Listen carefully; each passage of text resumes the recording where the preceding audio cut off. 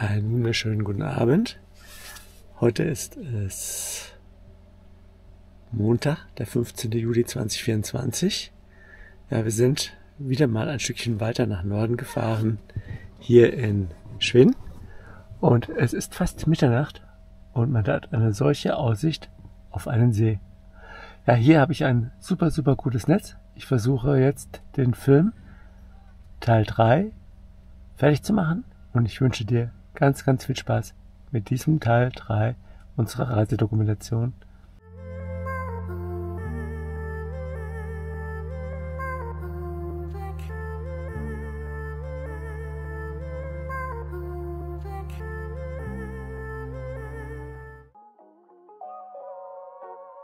Einen schönen guten Morgen.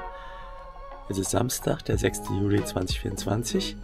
Wir sind in Kopenhagen. Heute machen wir eine Stadtbesichtigung und übernachten ein zweites Mal hier. Ja, aber ich denken, dass wir den ganzen Tag brauchen heute und dann macht das Ganze noch weiterzufahren. Wir müssen jetzt auch gleich losgehen, weil Monika wollte an so einem Schloss oder einer Burg oder so ähm, einen Wachwechsel angucken. Und der findet irgendwie um 11.30 Uhr statt. Das heißt, wir müssen los. Die, wir laufen in die Stadt. Das sind circa äh, dreieinhalb Kilometer. Bis zu diesem Schloss sind es viereinhalb Kilometer. Das heißt, wir werden ungefähr eine Stunde brauchen. Hier ein Blick auf den Platz. Ja, der Wetterbericht ist auch für den heutigen Tag eher bescheiden, vor allen Dingen jetzt heute Vormittag. Ja, Im Park von Nordstand, hier gibt es viele Laufstrecken. Das sieht, kann ich so, denke ich, so bestätigen. Also man sieht hier überall Läufer, Fußballfelder. Die Stadt kann man auch schon sehen. Also von der Infrastruktur her gefällt mir der Platz gut. 100 Kilometer kommen wir an dieser hübschen Brücke an.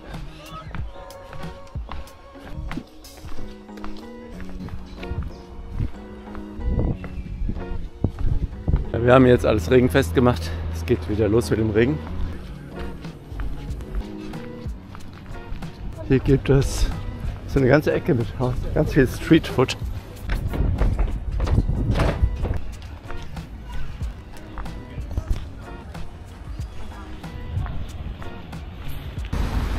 Hier ist der touristische Bereich.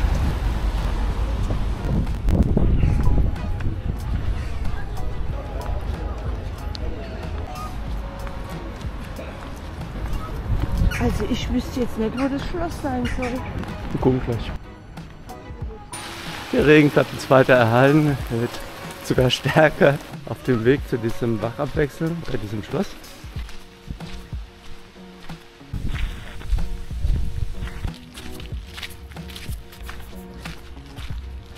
Wir erreichen das erste Ziel. Und zu kommen ist gar nicht so einfach. Hier ist so ein Wassergraben und es gibt fast keine Zugänge. Aber ein riesen Busparkplatz. Ja, hier ist zwar das Schloss, aber das mit der Wachablösung ist beknackt gemacht. Das muss man von der anderen Seite rein. Von hier kann man da gar nicht rein. Ja, die Wachablösung war jetzt nicht der Renner, würde ich sagen, aber es war ein sehr schöner Spaziergang dahin.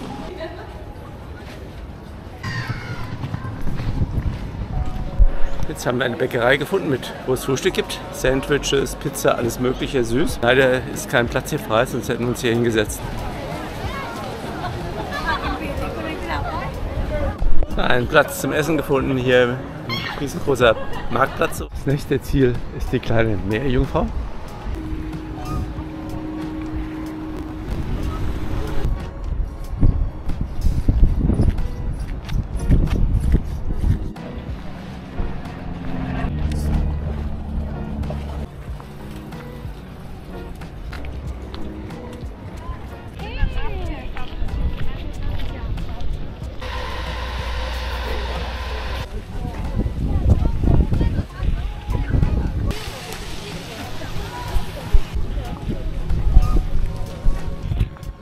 Vorne ein riesen Kreuzfahrtschiff. Da vorne diese kleine Skulptur ist es wohl. Das Interesse ist hier groß.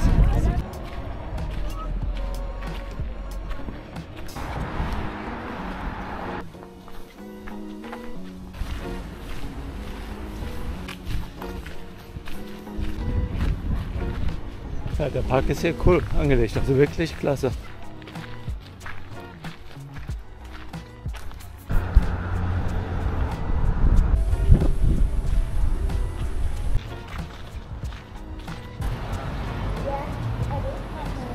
Sind wir quasi auf dem Rückweg schon.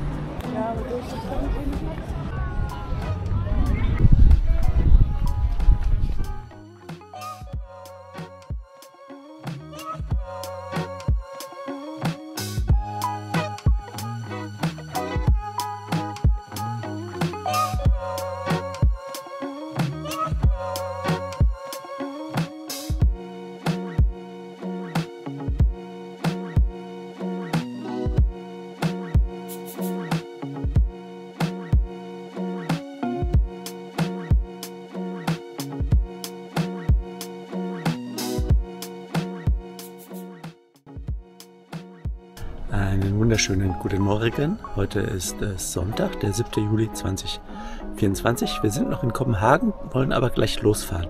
Ja, ich muss mich jetzt ein bisschen beeilen, weil ich hatte vor, noch laufen zu gehen. Weil eigentlich steht heute ja auch ein langer Lauf an. Ich probiere mal so 15 Kilometer zu laufen. Komoot sagt, heute kein Regen. Vor mir ist auch der Flughafen.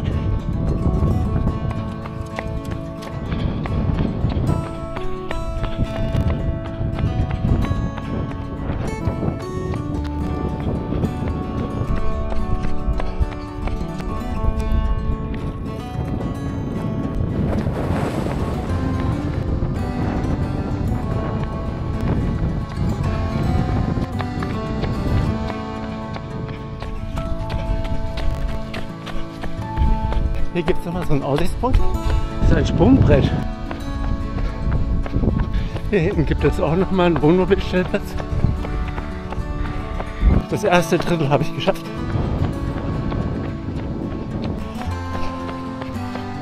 Ja, aber die Laufstrecke geht hier weiter an so einem schönen Park entlang. Da vorne ist auch die Metro. So lernt man mal einen Wohnbereich von Kopenhagen gerne kennen. Hier kann man auch in den Wohnvierteln wirklich gut laufen. Hier laufe ich wieder Richtung Stellplatz. Da hinten verlasse ich den Weg Richtung Stadt. Hier geht es dann, ach wow, auf diesen schönen Fußweg. Cool. Ja, die haben sich schon was gedacht, die Dinge.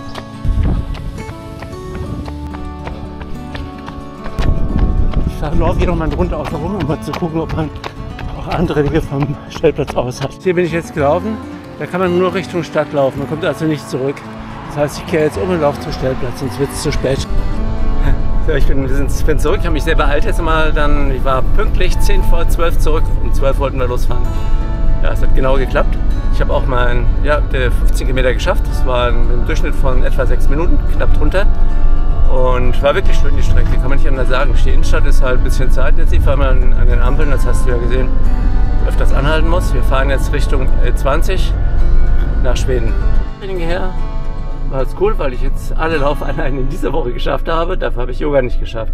Das lag aber in erster Linie an den Stellplätzen und vor allen Dingen auch am Regen. Ja, die Laufstrecke ging ja parallel zu dieser Straße. Einmal links beim Hafen entlang und einmal rechts zurück durch das Wohngebiet. Fahren wir zur nächsten Highlightbrücke. Hier ist der Flugplatz. Sind wir auf der Autobahn Richtung Malmö. Ja, wir haben ganz viele getroffen, die die gleiche Strecke fahren. Scheint voll zu werden in Norwegen. Ja, wir haben die Reiseplanung so ein bisschen diskutiert und sind, haben überlegt, dass wir erst versuchen, ins Landesinnere zu fahren. Und wenn wir dann zu sehr wegen Mücken und dergleichen genervt sind, dann machen wir die Strecke neu. Dann gibt es zwei Alternativen, tatsächlich über die Küste zu fahren oder auf die Strecke Richtung Nordkap zu verzichten und nach Südnorwegen zu fahren. Ein Gefühl nach Abenteuer, fahren unter dem Meer durch. Ja, heute planen wir ca. 90 Kilometer zu fahren. Und es soll so eine Klosteranlage geben mit einem sehr großen Parkplatz. Das scheint mir ein guter Einstieg in die Tour nach Schweden zu sein.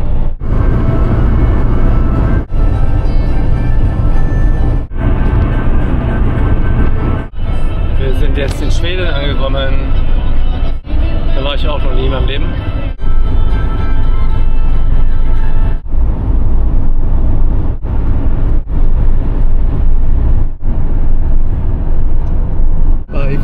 Wunderschönen Küstenwanderweg in Malmö.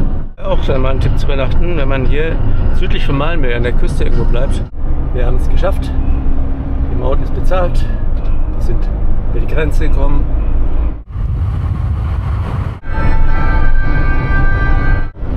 Sind jetzt noch knappe 10 Kilometer. Hier fahren noch viele Wohnmobile, kann man nicht anders sagen. Das Schloss sieht toll aus. Wir sind jetzt hier angekommen, an dem Platz am Kloster. Und ja, man darf hier parken und muss halt zwei Eintrittskarten kaufen. Das ist okay, das wollen wir eh machen. Und das laufen wir jetzt rüber ins Kloster und sehen uns die ganze Anlage mal an.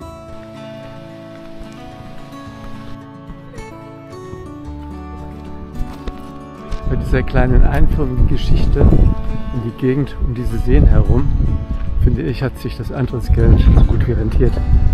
Echt klasse. Also mir gefällt es hier. Anlage ist schön. und sehenswert.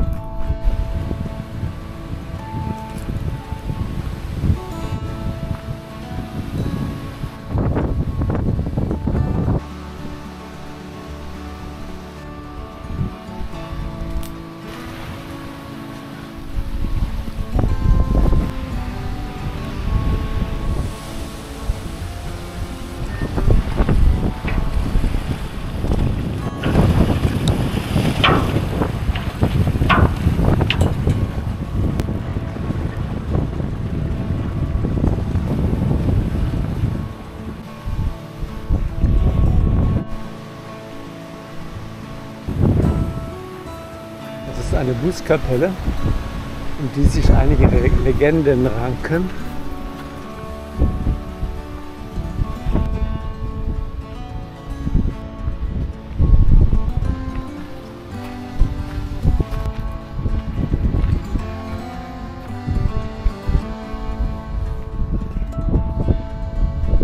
Das Café da oben kann man auch absolut empfehlen. Wir haben so zwei Brote, wir haben so zwei Brote gegessen, Hummusbrote.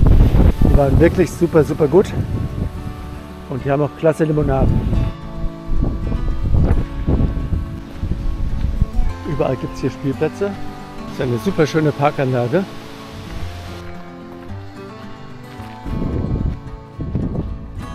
Man lernt hier einiges über den Benediktinerorden, über Krankheiten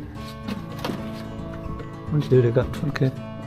Der Benediktinerorden entstand so im 5. Jahrhundert, 6. Jahrhundert. Was mir gar nicht bewusst war, war, dass der Benediktinerorden das zuvor praktizierte Leben in Armut ablöste durch ein angenehmeres Leben, ein, wo mehr Güter erlaubt waren. Der Benediktiner selbst ähm, gründete den den Benediktinerorden in Monte Cassino. Allerdings war es so, dass er selbst diese Armut und dieses Leben im Wandern noch praktizierte, aber der Orden selber verzichtete darauf. Die Kirche erreicht man von außerhalb des Geländes. Da wird gerade Musik gespielt. Da wollte ich keine Aufnahmen machen. Ja, das Gelände ist ein Besuch definitiv wert. Ich würde die Park for Night Kritik auch völlig anders formulieren. Ich würde schreiben, hier darf man übernachten, weil es einfach Spaß macht, diesen Besuch, dieses Gelände hier zu sehen.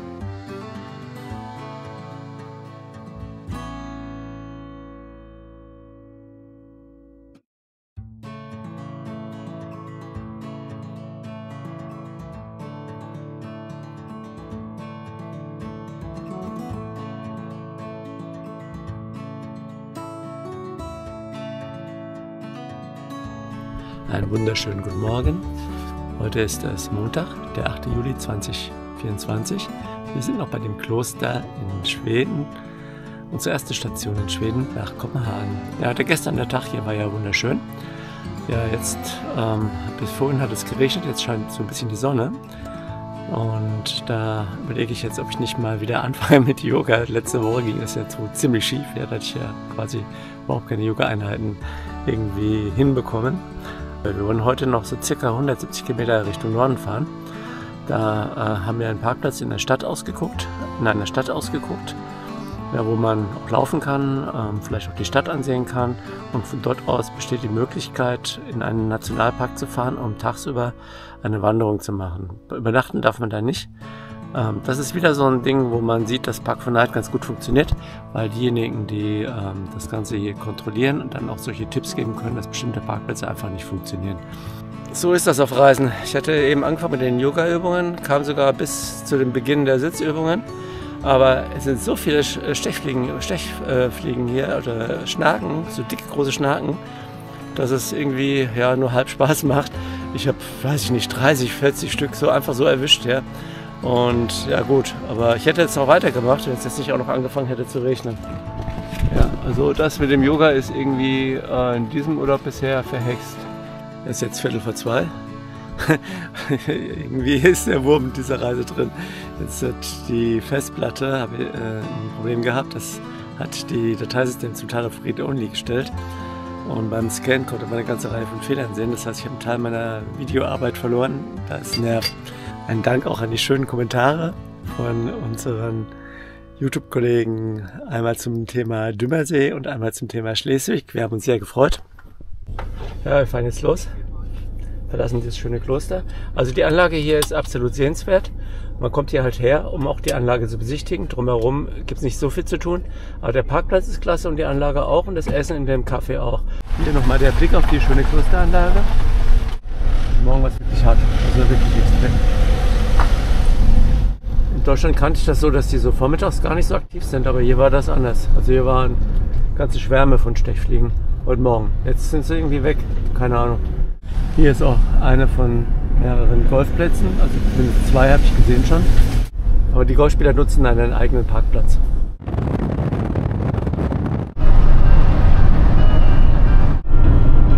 Monika hat mir heute Morgen so eine Kritik vorgelesen. Man meinte, wenn man durch Schweden fährt, würde man nur durch Wälder fahren und das wäre langweilig. Das tun wir momentan, aber ich finde es gar nicht langweilig. Also ich, mir gefällt das hier, die Wälder. Ja. Vorhin habe ich dann nach dem File-System-Check mal geguckt, ob ich noch welche Dateien kaputt sind. Da habe ich jetzt tierisch Glück gehabt, dass keine Mediendateien kaputt sind, sondern nur Projektdateien. Ja, da habe ich also nur Zeit verloren, also nicht die, die eigentlichen Daten, die Aufnahmen.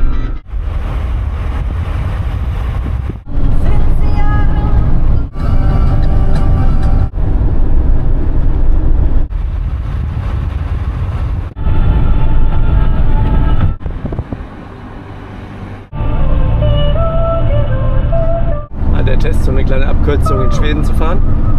Aber bisher sind die Straßen in Schweden wirklich super gut.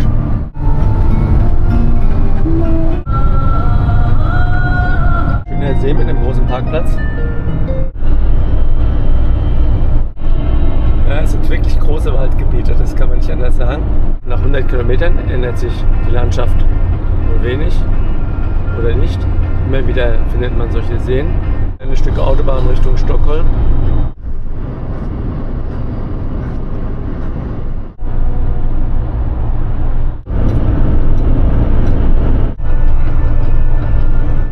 Wenn sich die Landschaft wenig ändert, finde ich die Strecke nicht als langweilig. Die hat irgendwas Meditatives. Wir haben so eine Höhe auf etwa 100 Meter und dann geht es immer so sachte berghoch, bergunter, immer so sachte Links- und Rechtskurven, immer wieder Wald, Bäche, Flüsse. Wir nähern uns unserem heutigen Ziel. Auf dem Weg Richtung Parkplatz kamen wir an einem ziemlich großen Einkaufszentrum vorbei. Da haben wir jetzt halt gemacht und gehen einkaufen. Ich habe auch nochmal einen anderen Parkplatz rausgesucht, mehr im Stadtrand, weil die Stadt scheint mir doch recht groß zu sein. Dann macht so ein zentraler Parkplatz äh, weniger Sinn. Ich dachte, das wäre mehr so eine Innenstadt, wo man dann auch ausgehen kann. Das sieht jetzt nicht so aus, aber dafür gibt es viele solche Stadtparks und äh, schöne Gegenden drumherum, wo man wohl auch laufen gehen können soll. Das probieren wir einfach morgen dann aus. Das Wetterbericht ist ja bescheiden. Für morgen relativ gut, dass wir morgen vielleicht eine Chance haben, die Wanderung da in diesem Naturschutzgebiet zu machen. Los geht zurück. Geht weiter zum Parkplatz. Die Gegend ist nicht schlecht. Eine relativ große Stadt. Varnamo. Wir sind angekommen. Sieht toll aus hier. Gefällt mir. Super, super gut. Sogar mit Laufstrecken und allem.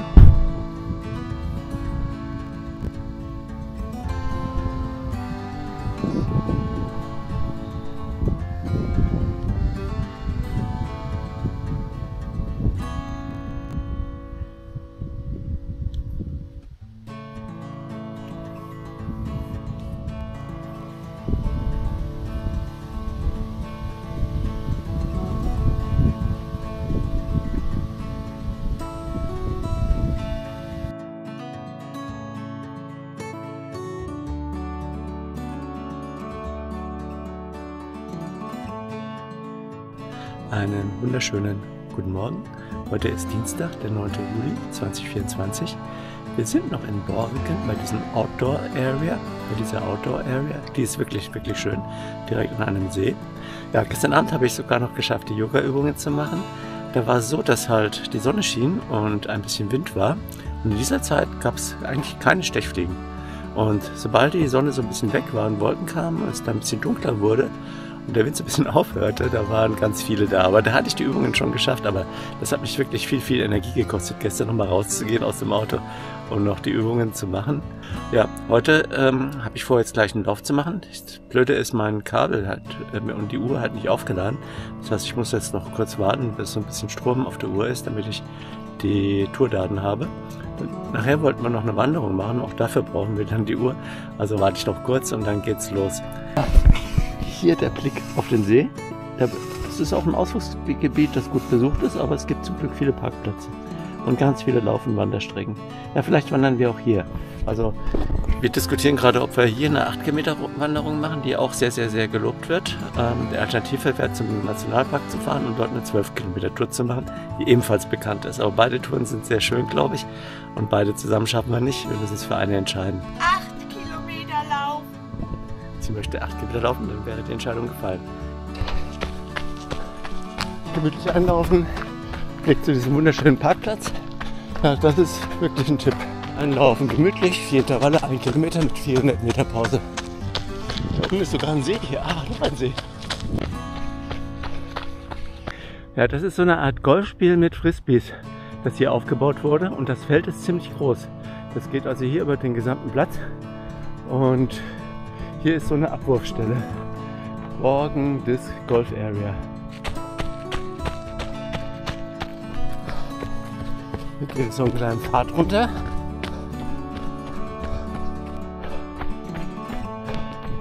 Ja, und gleich das erste Mal verlaufen.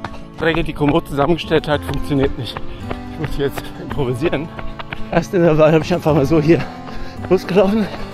Schlechte Zeit, aber es ging berghoch. Ja, das zweite Intervall ist geschafft, berghoch. Hammer. Ach, Kogi. 400 Meter, dann drehe ich um. Diese Straße führt übrigens auch zu diesem Nationalpark. Ja, beim Intervalllauf war offensichtlich die Kamera nicht richtig runtergefahren. Und irgendwie ist der Bildschirm auch nicht mehr gesperrt. Ja, ein bisschen blöd, weil es hat sich die Kameraeinstellung wieder mal verändert gehabt. Ich versuche da selbstverständlich auszugleichen, mal sehen, ob das klappt. Ansonsten ist der Teil bis hier vielleicht ein bisschen unscharf. Und was ich gesehen habe, ist, dass man hier wieder ganz andere Mücken hat. Hier sind es so kleine schwarze, die tun richtig weh. Die Straße ist ja wirklich wunderschön. Eine kleine Traumstraße in Schweden. Und ich drehe. Das letzte Intervall ist geschafft. Hier sieht man das Problem mit dem Komootweg. Ich hätte hier über die Bundesstraße oder Umgehungsstraße, über diese kleine Straße und über die Schienen hinweg gemusst. Und das hat nicht funktioniert. Und so kam es, dass ich jetzt diesen Weg gelaufen bin. Sportmöglichkeiten gibt es hier wirklich sehr, sehr, sehr viel. Es auch solche Wege. Hat man sich hier viel Mühe gemacht dieser Weg hier oder diese Gegend hier boah, ist auch absolut super. Mein dritter Intervalllauf jetzt in dieser Trainingsserie. Es ist ja die vierte Woche jetzt. Einmal 200, einmal 400 und einmal 1 Kilometer. Insgesamt waren es 11,5 Kilometer mit einem Schnitt von 6 Minuten und 15. Wir machen noch eine kleine Wanderung. Wir haben uns entschieden, jetzt doch nicht zum Nationalpark zu fahren und die Wanderung zu machen mit 12 Kilometern, sondern wir machen jetzt hier ähm, in diesem Outdoor-Bereich, Borger Outdoor-Bereich, die 8 Kilometer Tour. ja, deswegen nehmen wir jetzt die 8 Kilometer Tour. Das ist die gelbe Tour. Hier ist der Startpunkt. Und wir nehmen die 8,4 Kilometer. Im Start ist die Beschilderung schon mal sehr gut. Diesmal habe ich keine GPX-Daten. Die ganzen Menschen, Sportler, die hier mit Rucksäcken rumlaufen, sind nicht wie wir Wanderer, sondern fast immer spielen sie dieses Frisbee-Spiel. Jetzt einmal um diesen See herum. Einen sehr schönen kleinen Wanderweg. Ja, das kann man wirklich vergleichen mit einer super toll angelegten Golfanlage. Bisher funktionieren die Schilder.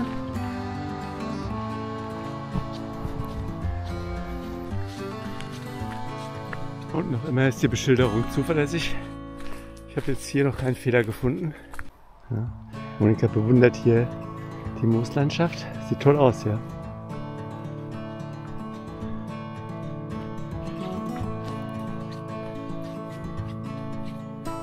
Noch immer gibt es keinen Fehler in der Ausschilderung.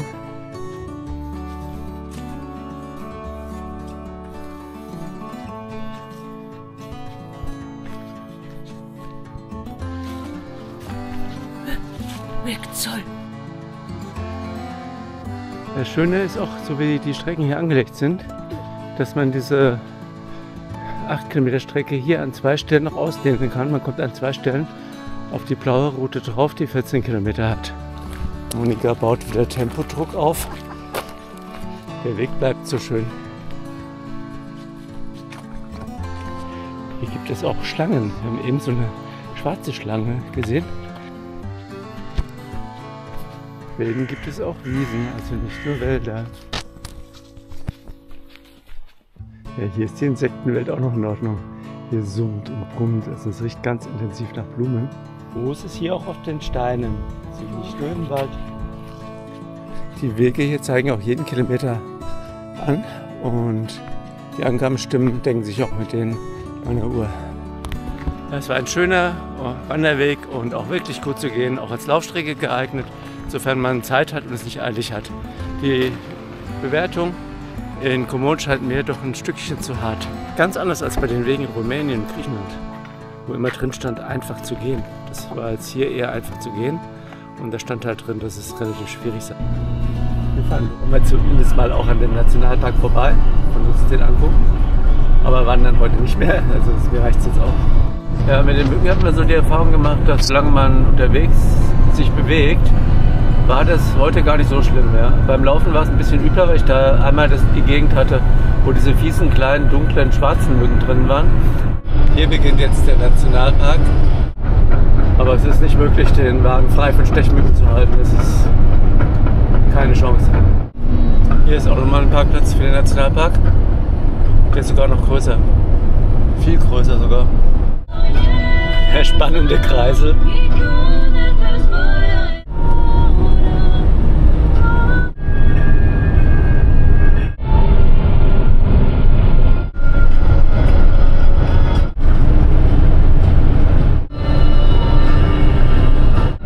Gebirge gibt es hier auch. In diesem See gab es jetzt hier eine riesengroße Ferienanlage. Laufstrecke und allem. Hier ist das Isarberg Mountain Resort. Keine Ahnung, was das ist. Aber hier sieht es auch gut aus. Vier Sterne Campingplatz. Oh, die Gegend ist klasse. Das ist eine wunderschöne Laufstrecke direkt am See. Und da ist auch wirklich viel los. Da geht's ab. Da ist alles voll hier. Ja, hier tanzt der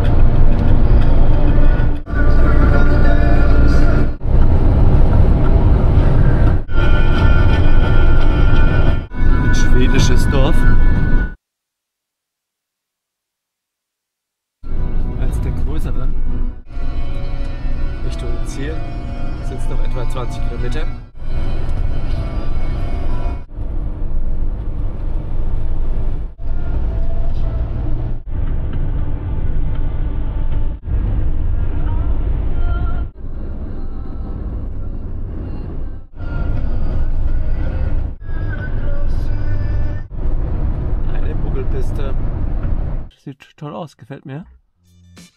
Wie beschrieben. Ist auch so eine Freizeitattraktionsgelände.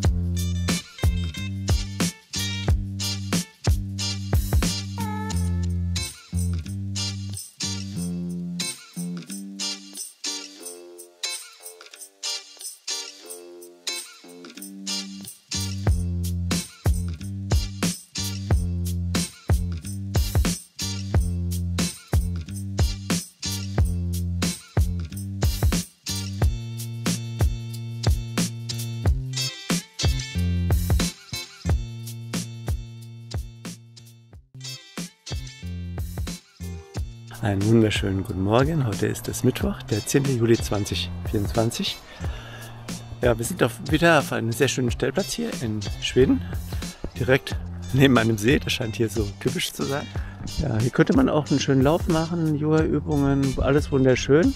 Aber auch hier muss man den Platz bis 12 Uhr verlassen. Jetzt wissen wir nicht genau, was wir machen. Ja, das ist echt doof. Ja, wahrscheinlich fahren wir dann gleich los, machen gar nichts hier und lernen den Platz auch nicht kennen. Ist jetzt schon kurz nach zwölf. Wir fahren jetzt los. Ich habe zumindest an diesem schönen Platz die Standübung geschafft. Ja, es gibt hier auch einen Laufweg rund um den See. Also der Platz ist klasse. Wenn das mit diesen 12 Uhr nicht wäre, das ist für uns ein Grund nicht, nochmal hierher zu kommen. Oder mehrere Tage bleiben, zu bleiben. Das wäre auch eine Option. Die Zeit haben wir diesmal nicht. Das heißt, die Zeit hätten wir, aber das ist nicht unser Reiseplan, nicht bei den Wetterbedingungen. Ja, man kann hier runter, da gibt es einen wunderschönen Weg auch runter zum See, rund um den See, das sind circa elf Kilometer, also auch eine gute Laufstrecke. Wanderung gibt's hier, wird für Kinder viel gemacht. Direkt da unten ist ein Kinderspielplatz. Also der Platz wirklich gut. Die Erdbeeren auch. Erdbeeren auch. Ich habe es dann gestern und heute Morgen noch geschafft, wenigstens ein bisschen bei den Mediendateien aufzuholen nach diesem Plattencrash, äh, den ich ja nur teilweise reparieren konnte.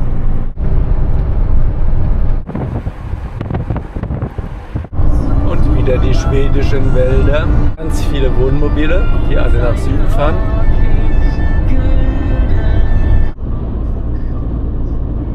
Wir sind immer noch auf einer Höhe von so zwischen 200 und 300 Metern.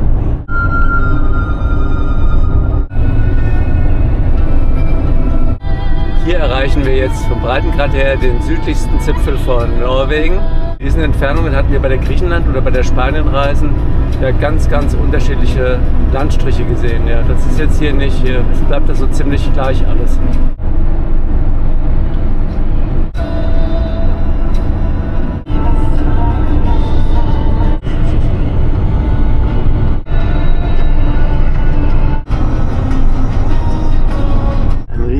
Werk, hier wird Volvo, werden die Volvo-Autos produziert.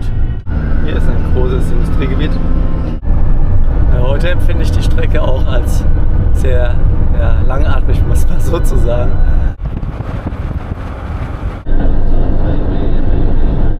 Ein kleines Stück auf der E20.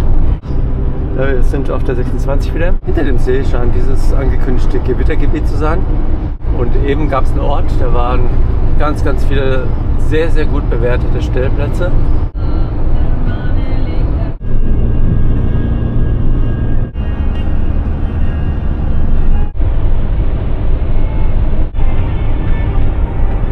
Ja, jetzt haben wir die, den Breitengrad der norwegischen Grenze erreicht. Haben jetzt hier in einem Supermarkt Halt gemacht, gehen einkaufen. Das doof ist, wir haben kein Geld abgehoben und das heißt, wir haben keine Münzen, können keinen Einkaufswagen ab, ähm, losmachen. Das Gewittergebiet hat uns hier beim Einkaufen eingeholt. War nicht anders zu erwarten. Als Frühstück gibt's hier Zimtschnecken.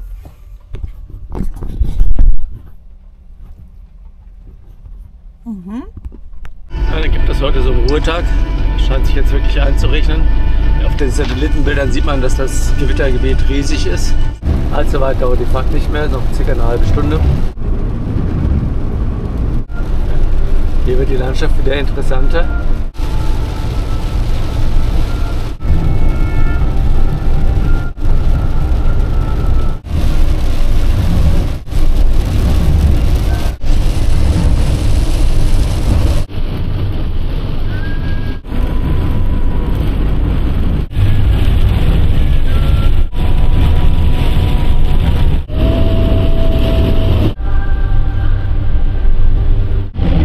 Ja, das Wetter wird nicht besser momentan.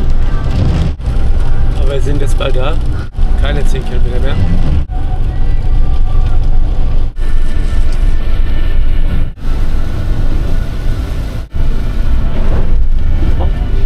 Und wenn es voll ist, müssen wir uns was überlegen. Ist ja nicht mal Glück. Ein super schöner Stellplatz. Und vor allen Dingen, ich dachte, es wäre voll, weil uns der Wohnmobil entgegenkam. Und es ist alles frei. Cool, cool, cool. Da unten ist ein Café. Ja, das gefällt mir hier. Hier bleiben wir definitiv. Zwei Übernachtungen. Ja, trotz des Regens, der Platz ist echt cool. Also viel schöner, als ich es mir vorgestellt hatte. Ja, man wird immer wieder überrascht. Da unten ist das Café. Monika ist schon dort, will nicht mehr zurück wegen dem Regen. Pürebeckens Susa Och Bruck. Das Kaffee ist klasse. Haben jetzt so gut gegessen. Brettspiele, Zeitschriften. Super schön hier. Cool. Hier sind noch zwei deutsche Wohnmobilreisende angekommen. Zwei Paare. Super, super nett, haben uns unterhalten. Sie kommen gerade von Oslo rüber, waren in Norwegen, wo wir gerade hinfahren. Der Kanal. Schau